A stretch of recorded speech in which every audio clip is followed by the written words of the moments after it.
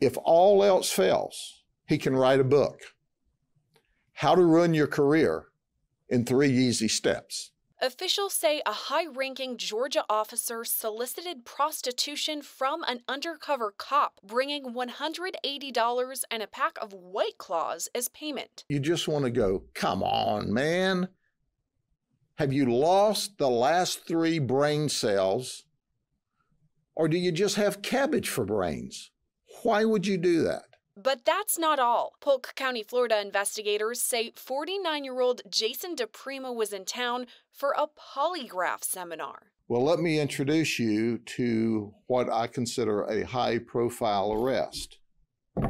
This is Deputy Chief Jason DiPrima of the Cartersville Police Department.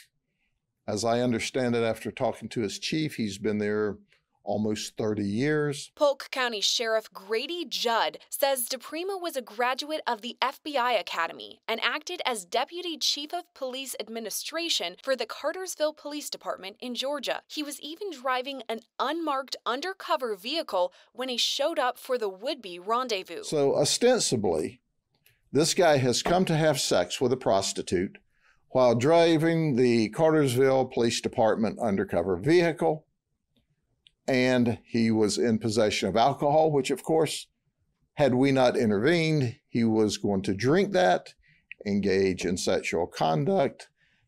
But newsflash this is Jason DiPrima, 49 years of age, his picture at the Polk County Jail.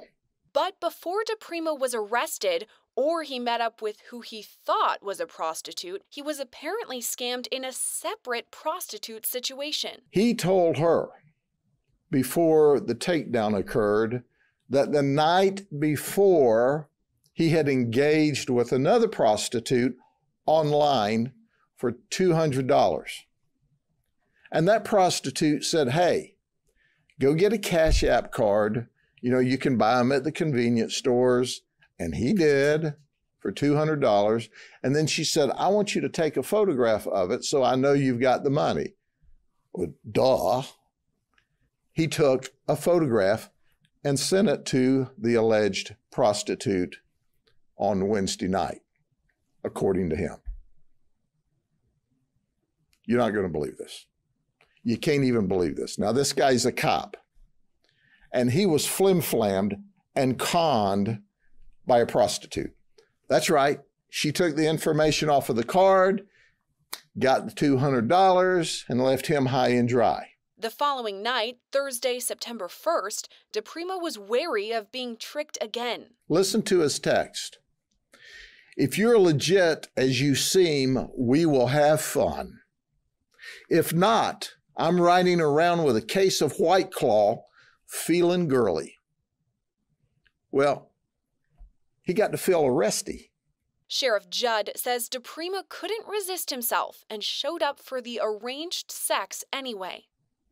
He shows up with his white claw, and it's like, what are you thinking? What are you thinking? What is going on? You're a deputy chief, a high ranking official in a very respected police department and you're showing up with White Claw and two Bud Lights. But Polk County officials say he may not have understood the agreed upon amount. And we're not sure whether he can do math or not, okay? Because the deal is for 120 for a half hour, a full half hour. He shows up with 180. He shows up with 180 and says, I can send you the rest of it on a Cash App. I don't know if he's planning on extra time. He can add. He wants to leave a tip. He wants to impress this person. But listen to his text. He's real suspicious. I guess you would be after you got ripped off the night before. Sheriff Judd also told reporters DiPrima has a wife and family back home in Georgia. You would have thought as a high ranking police officer, well respected, he would have known better. But he didn't. And now he's got lots of issues home issues, work issues, criminal issues. What he's got going here is a situation. In the end, the entire ordeal cost DiPrima a pretty penny. Had he behaved, had he stayed at his Polygraph Association meeting, he'd been fine. But he worked all week. And so right now, think about it. He lost $200 to the, to the prostitute that ripped him off in a flim flam, in a scam that he should have known, he should have known better on a lot of levels. Then he brought 200 more that we got, $400. Then he got misdemeanor charges. I, I mean, I mean, this is just insane. The whole thing is insane. When interviewed, DiPrima admits sending texts to the investigator, but says he planned to hang out and watch football. I wanted to ask him, since he's a polygrapher and was at polygraph school, would you like to take a polygraph with those answers you gave us? DiPrima now faces a misdemeanor count of soliciting a prostitute and has been suspended from the Cartersville Police Department pending an investigation. You would have thought, as a high ranking police officer, well respected, he would have known better. But he didn't. And now he's got lots of issues home issues, work issues, criminal issues, what he's got going here is a situation.